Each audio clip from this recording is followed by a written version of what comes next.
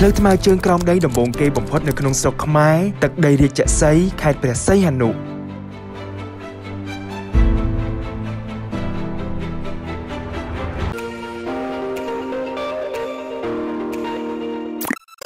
អតិពលនៃជំងឺ Covid-19 នៅក្នុងស្រុកខ្មែរគឺជាអតិពលខ្លាំងមែនទែនមិនថាអ្នករុស្ស៊ីក៏ដូចជាវិនិយោគិនមួយចំនួនក៏ប៉ុន្តែនៅក្នុងកំឡុងពេលនេះយើងក៏គួរកោតសរសើរដល់ក្រសួងសាធារណការក៏ដូចជាក្រមការងារពាក់ព័ន្ធមួយចំនួនចំពោះហេដ្ឋារចនាសម្ព័ន្ធនៅក្នុងស្រុកខ្មែរដែលកំពុងសាងសង់គឺមានគម្រោងតិចតួចប៉ុណ្ណោះដែលយឺតឬក៏ផ្អាកហើយក្នុងនោះយើងក៏ឃើញគម្រោងមួយចំនួនក៏បានលេចឬជារូបរាងសមិទ្ធផលដែលខ្ញុំបានបង្ហាញបងប្អូនជាច្រើនហើយនេះគឺជាផ្លូវថ្មើរជើងក្រោមដីចំនួន2ខ្សែនៅខេត្តព្រះសីហនុដែលមកដល់ពេលនេះគឺសាងសង់រួចរាល់ហើយនៅឡែកតែបើកឲ្យប្រើប្រាស់ជាផ្លូវការតែប៉ុណ្ណោះផ្លូវថ្មើរជើងក្រោមដីចំនួន2កន្លែងនេះគឺនៅតាមបណ្ដោយផ្លូវជាលេខ4ដែលមួយកន្លែងស្ថិតនៅចំពីមុខវិទ្យាល័យហ៊ុនសែនឃ្លាំងលើនិងមួយកន្លែងទៀតស្ថិតនៅទីប្រជុំជនរោងចក្រផ្លូវថ្មើរជើងក្រោមដីនេះគឺមានគោលបំណងធំក្នុងការសាងសង់គឺធ្វើឡើងសម្រាប់សិស្សានុសិស្សកម្មករកម្មការិនីឆ្លងកាត់ហើយក៏មានគោលបំណងក្នុងការកាត់បន្ថយការកកស្ទះក៏ដូចជាគ្រោះថ្នាក់ចរាចរណ៍ដែលកើតឡើងដោយយថាហេតុណាមួយផងដែរហើយផ្លូវថ្មើរជើងក្រោមដីនេះក្រៅពីសម្រាប់តែដើរក៏មានផ្លូវសម្រាប់ប្រជាពលរដ្ឋអាចបណ្ដើរកង់និងម៉ូតូឆ្លងកាត់បានហើយចំពោះការសាងសង់វិញ